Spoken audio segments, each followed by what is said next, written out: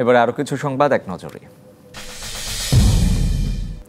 ঢাকা আঠারো উপনির্বাচনে বিএনপির প্রার্থী এস এম জাহাঙ্গীর হোসেন ও সিরাজগঞ্জ এক আসনে সেলিম রেজা। বিকেলে গুলশানে বিএনপি চেয়ারপারসনের রাজনৈতিক কার্যালয়ে দুই প্রার্থীর নাম ঘোষণা করেন দলীয় মহাসচিব মির্জা ফখরুল ইসলাম আলমগীর। সুস্থ থাকতে প্রতিদিন একটি করে ডিম খাওয়ার পরামর্শ দিয়েছেন বিশেষজ্ঞরা।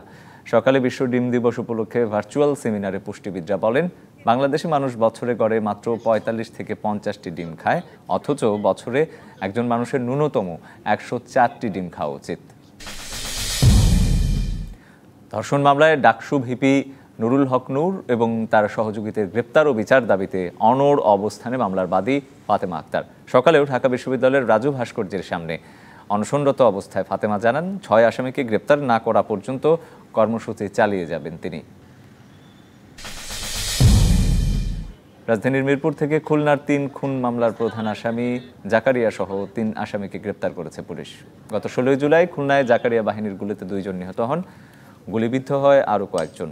পরে চিকিৎসাধীন অবস্থায় আরও একজনের মৃত্যু হয়।